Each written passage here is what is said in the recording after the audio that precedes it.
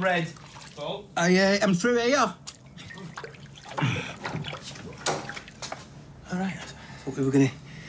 Oh, well, seeing as you, you're in the bath, do you want me to pass you that anti-dandruff shampoo I got? Do you still fancy me? Yeah, of course. Then what the hell are you going on about anti-dandruff shampoo? I mean, I'm surprised you didn't recommend a flea treatment. It'd be just as romantic. All right. I'll, I'll, I'll get in with you. Give you a massage. No, you've killed off the mood. I just want to get out and dry it off. You sure? Come on. It's no hassle. No, it shouldn't be a hassle. I didn't mean it like that. It's normal to want sex, you know. I, I know. I know I'm stuck in the bath. Can you give us an hand, please? All right, come here. Just move all this. Come on. Here we go. Here we go. Ah! Well, you all right? Oh, I think I pulled something. Oh, no. Have you put it out? Yeah.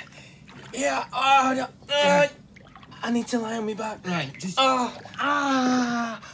Oh. Oh. Oh. Yeah. I feel better. Yeah. Ah. Glad you turned out well. oh, oh, don't make us laugh. It kills when I laugh. You're gonna have to do all the talking then, because you never say anything funny. oh, what did I just say? Oh. Oh. Oh, no. Joyce, I think I'm gonna have to call for help. Ew. Oh, wait, wait, wait, don't tell me. A fit fireman with his nozzle in hand. Do you reckon you can bear for Todd to see you like this? Oh, he loves sneaking a quick glimpse. I would have thought it, eh? Todd Grimshaw becoming the fourth emergency service. Try and do all this on your own. Well, I knew you were coming back. Felt lot of help you did. State of us. Just. I don't know. For once, I just wanted to feel like I wasn't the patient and you're my carer. It's gonna get a lot harder from here on in. Do you know, I've, I've had some of the best sex of my life with you.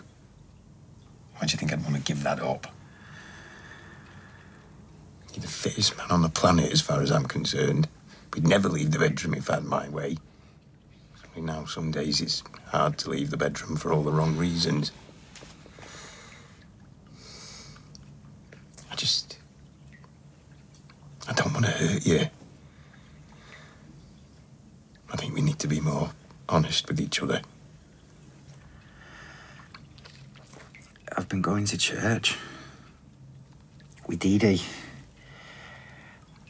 Their place has got better music and cooler lighting. And to add insult to injury, What? I've been baptized. Are you act off at me? Yeah, of course I am. You've been cheating on me with Dee Dee.